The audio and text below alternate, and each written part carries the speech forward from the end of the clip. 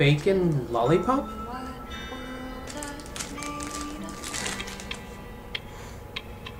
It still smells out. Ooh, a quarter. Hey guys, so Friday is upon us. Kind of looking forward to my weekend of laziness and lethargy. It's been kind of an off day for a Friday. Perhaps it's just the fade out to a stressing week. What with having three 5 a.m. shifts this week, and trying to remain social between all. I mean, we all have those days. Maybe not in the same context or the same particular time frame, but I know I'm not the only one here who could do with work days being shorter, off time being longer, and resources required for our daily living to be in abundance. So, been a partially productive couple of weeks here.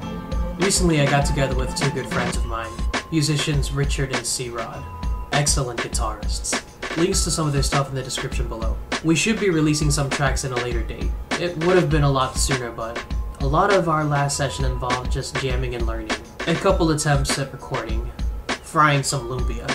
Not to mention suddenly jumping into playing and singing How Bizarre at random moments of the day. Anyway, that's all out of me for now. Until next time. Bye.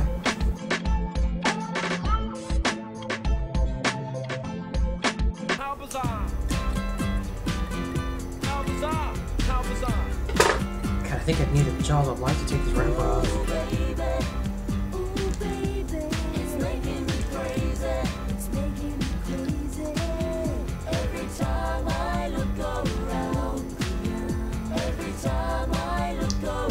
Bacon lollipop, you disappoint me.